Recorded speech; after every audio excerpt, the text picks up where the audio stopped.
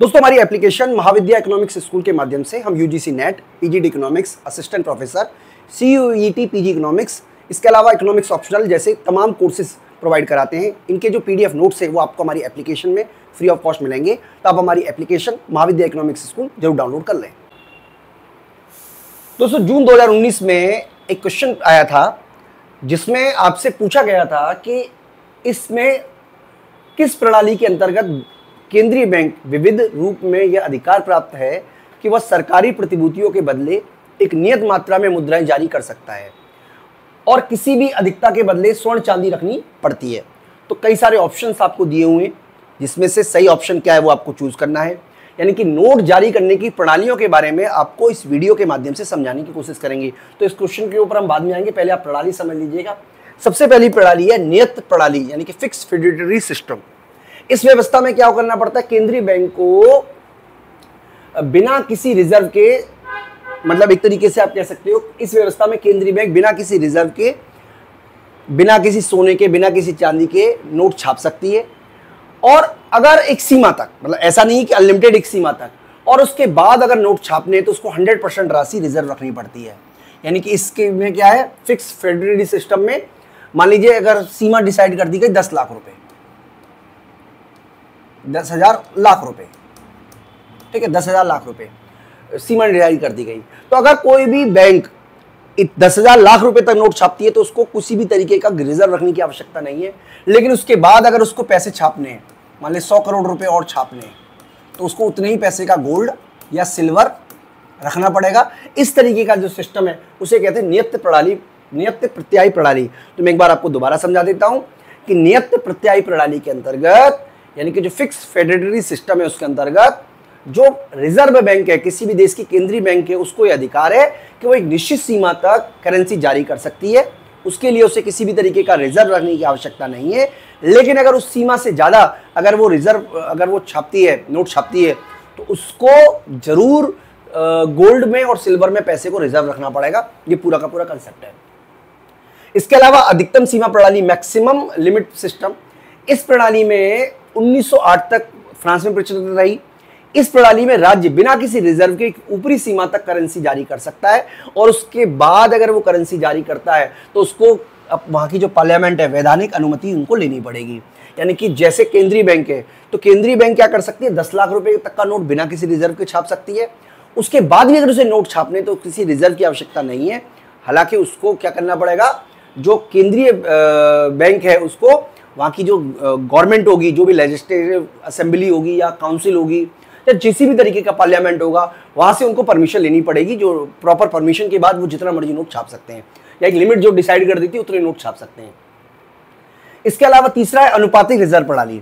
अनुपातिक रिज़र्व प्रणाली जो है, वो विश्व के अधिकांश देशों में व्यवस्थित रही, चलती रही। इस प्रणाली में एक निश्चित अनुपात में सोने तथा सरकारी प्रतिभूतियों में रिज़र्व रखना पड़ता है। यानी कि अगर आपको 10 लाख मान लीजिए सौ करोड़ रुपए छापते हैं सौ करोड़ रुपए छापने हैं। तो 25 करोड़ आपको गोल्ड के रूप में या अन्य संपत्ति के रूप में रखना पड़ेगा। इस तरीके की जो व्यवस्था है, उसको बोलते हैं अनुपातिक रिज़र्व प्रणाली। और न्यूनतम लक्षित प्रणाली, ये इंडिया में लागू है। इंडिया में इस प्रणाली को 1956 के बाद लागू कर दिया गया था।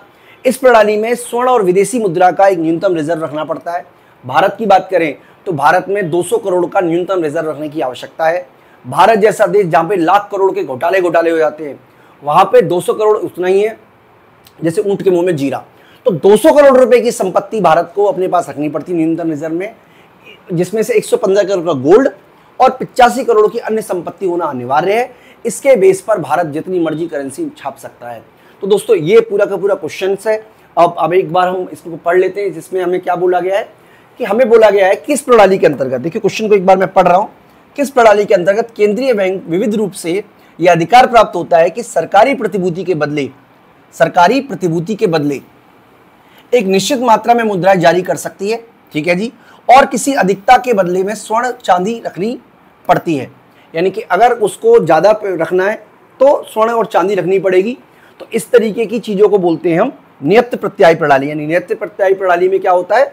इस सिस्टम में क्या होता है कि अगर जो भी हमारी सरकारी प्रतिभूति है, यानी कि सरकारी प्रतिभूति के बेस पर आपने मान लीजिए छाप दिए 25 करोड़, और अगर आपको इससे ज़्यादा छापने, यानी कि सरकारी प्रतिभूति का मतलब गवर्नमेंट गारंटी दे रही है, उसमें किसी तरीके का कुछ रिज़र्व रखना नहीं पड़ता।